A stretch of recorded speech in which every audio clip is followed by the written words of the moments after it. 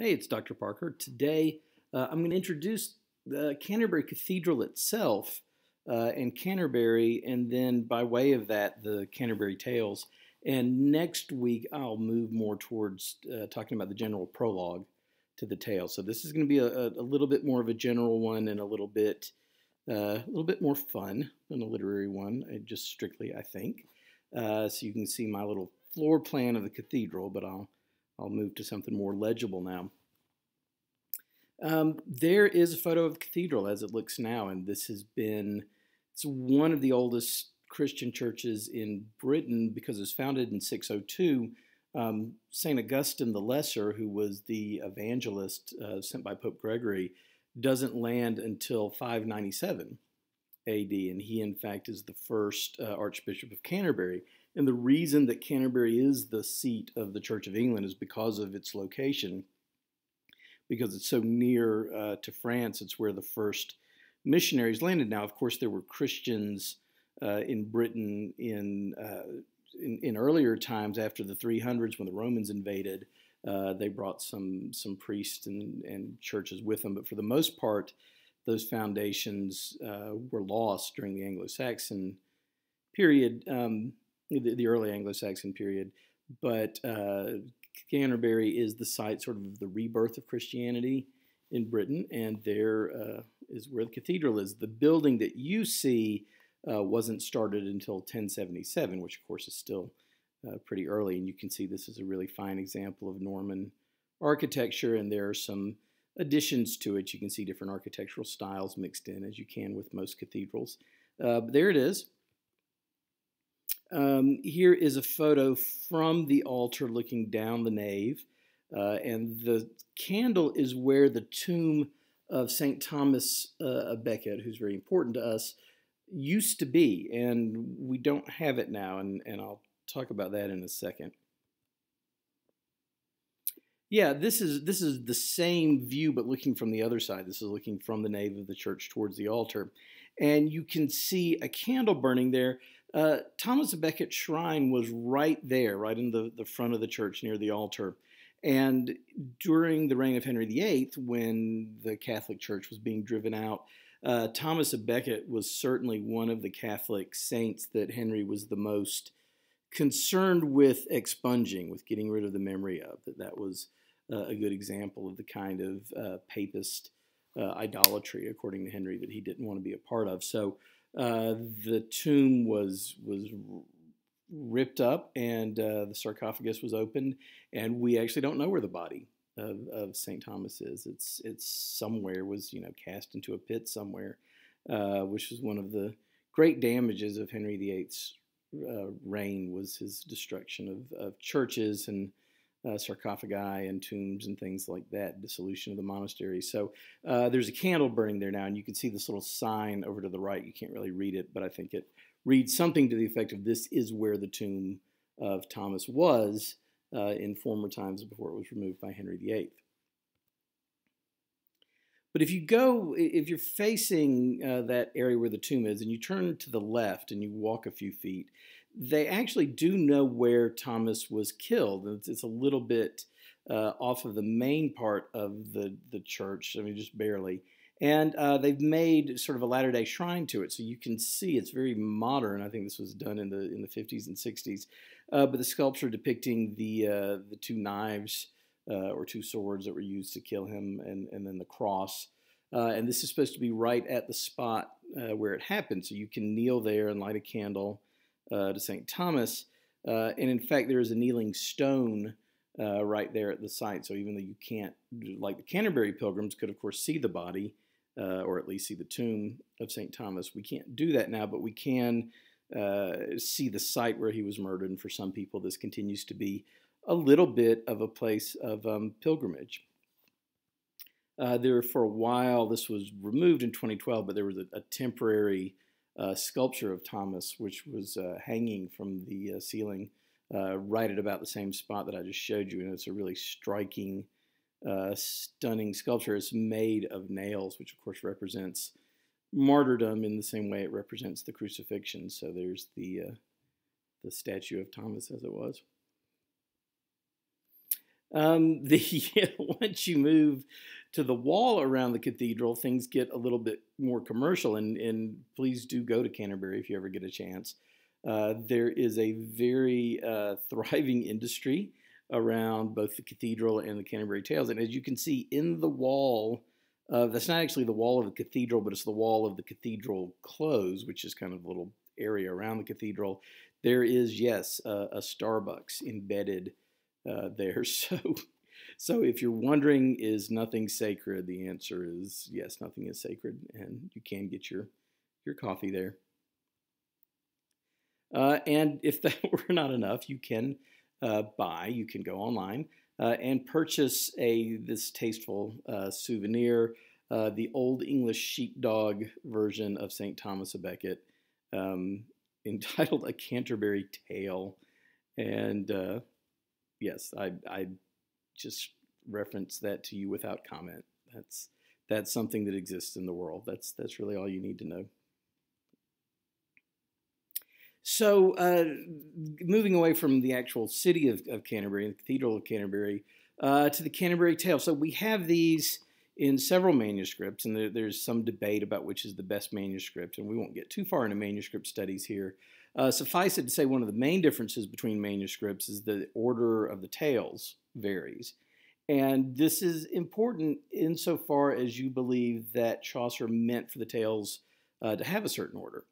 And if so, what does the order of the tales tell us that he's wanting to tell us? Is there a theme?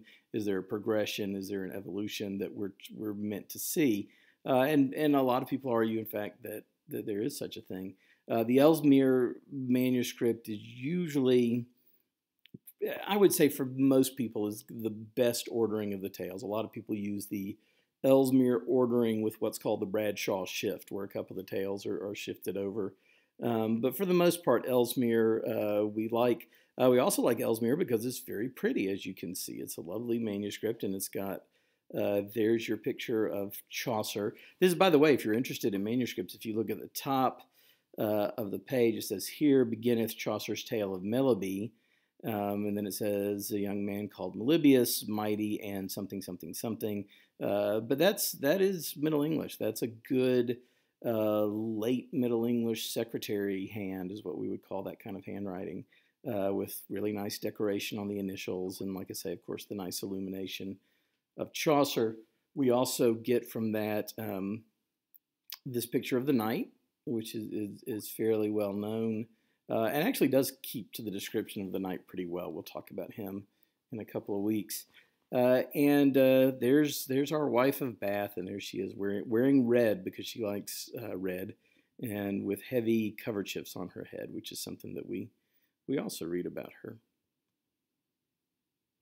Uh, Canterbury Tales has survived in the um, cultural memory, and it's interesting for a lot of people. It is a kind of a fun, racy, uh, uh, cute bunch of stories that have a little bit of a, a, of a sexy element to them, and and certainly those things are in there, but it, it's not the bulk of what's in there. Uh, but here you see uh, it's been turned into a musical. It's actually been turned into at least two musicals that I know of, and probably more. Uh, this is one from the uh, from the '60s. The '60s really liked Canterbury Tales because they felt like it was sort of a I don't know, a retro hippie movement or something like that. Um, and there was a uh, Pasolini in, I think, 1973, made, no, 1972, sorry, uh, made a quasi pornographic uh, version of the Canterbury Tales. And uh, you can see the poster, which is, is the only, I probably shouldn't even show you that, but it's certainly the only thing I can show you. Um, I've not seen it, but I don't recommend it.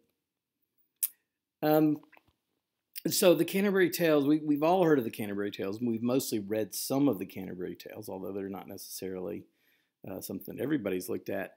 Uh, but, but what kind of a thing are they? So the first thing I want to get at, and this is something that you should keep in mind uh, throughout our study of the Canterbury Tales, is that Chaucer has chosen this trope of pilgrimage for his for his work and it it works on a lot of different levels. There are a lot of really good reasons that he chose it, uh, and so Uh, the first thing I want to say is that as a literary device, so the, the, the, basic outline of the, the story is that you've got a group of, of about 30 people. They, they have by chance met each other at a hotel in London, uh, knowing that the next day they're all going to go on a pilgrimage to Canterbury, which is about 60 miles. Uh, so it's two days ride there, uh, two days ride back. And um, they're each going to tell two stories on the way there and two stories on the way back. Now, all of these stories weren't written. Like I said, we only have about, um, depending on how you count, somewhere in the 20s in the Canterbury Tales. Uh, 30 pilgrims telling four stories each, of course, would be 120 stories. And we don't we don't feel that Chaucer was ever planning to write that many stories, although he also he died before we think. Uh, he completed everything, so it's hard to say how many stories he would have.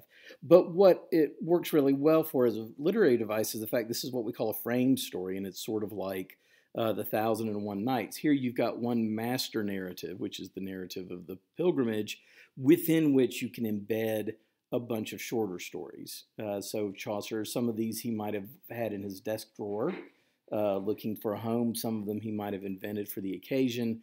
Uh, but it's sort of a way of creating a work that encompasses every kind of genre, from the very pious and holy to romance to uh, adventure to um, yeah, dirty jokes to bawdy stories, and yet they all sort of find a home in this one uh, framework. And so I think one reason he uses the device of pilgrimage is to provide uh, you know enough space to stick as many stories as he wants to of, of various kinds in there. A second reason that pilgrimage is a great uh, way to, um, to, to stage the story is that it's one of the few instances in the medieval world where all of these sorts of people would be at the same place at the same time. In, in typical life, the miller and the prioress would have nothing to do with each other. They wouldn't encounter each other, they wouldn't speak to each other. Uh, and, and you can say the same for, for many pairs of characters uh, in the Canterbury Tales. These are not people that would, would be together. So if Chaucer wants to create a story that does, in fact, include people from, and I won't say all walks of life, what we'll talk about next week when we get into the general prologue, these people are all of the middle class, which is this relatively new class uh, in Chaucer's time. But there's nobody who's extremely wealthy, um, and there's nobody who's extremely poor, uh, with maybe one exception on each end of that scale. But for the most part, these are, are the middling classes, and they're all um, being pulled together uh, in a way that they they almost never would in real life. Um, but pilgrimage was becoming a really popular thing, especially for the middle class. It was um, the predecessor of modern day tourism. This is what you did when you had a little bit of spare time and a little bit of spare money. Um, unlike a really wealthy person, your whole life wasn't sort of a vacation. Uh, but unlike a really poor person, you didn't have to work all day, every day, just to scrape by with no extra income and no time for enjoyment or recreation. You fell sort of in between these these things, where yes, you had to work, but maybe you could take a week off uh, in the springtime. Maybe you had a little bit of extra spending money to sort of pay your way for a journey like this. Uh, it's uh, the religious reasons aside, which is is the reason they're supposed to be going on this pilgrimage uh, it's it's a great social mixer. It's a great way to meet people. Uh, I certainly think the wife of Bath is um, here to meet her next husband. Um, and in, in, general, it was sort of like I said, the the predecessor of the package tour of the of the cruise ship of spring break. Uh, the pilgrims go on this trip in in April, that April. So they go uh, when the sun is shining, the flowers are blooming, and it's a pleasant time to um, to travel, which wasn't true all year round in in England. So that's um, the the cultural mixing of this group. I think is another reason he uses the device of the pilgrimage. And finally, the device of the pilgrimage is is fairly well known in medieval literature as a metaphor for life. That you were you were born into this world or into this vale of tears, however you want to look at it. Uh, and you travel uh, your life's road until your death. And the way that you conduct yourself during that journey determines what happens to you after your death. So this is a um, this world is a transient place. It's one you travel through uh, metaphorically from your birth to your death. And if you want to take the tack, and we'll talk about this again some more uh, later on, that Chaucer is presenting a bunch of different ways of looking at the world. With each teller and each tale, there's a different sort of worldview on display, and that Chaucer's giving you these alternative ways of uh, looking at the universe, of, of life philosophies, that so that you can sort of judge for yourself. And Chaucer is very non-judgmental, but you as the reader can sort of say this is a good way to live a life, or this is a, a poor way to live a life, uh, and um, eventually this helps you to kind of arrive at your own life philosophy or something like that. So um, that's the um, that's the idea of the pilgrimage, and this entire thing is is based around a group of pilgrimage pilgrims going from London to Canterbury and back. And as far as we know, they they never get there. We never hear anything about uh, their trip once they uh, get started, except that we hear some of their some of their stories. So that's um, that's it for this time. And um, I'll set some discussion questions, but this week I'm going to make them a little bit more open ended, uh, a little bit more of you asking me questions uh, about the Canterbury Tales, kind of give you a break from the grilling I've been giving you.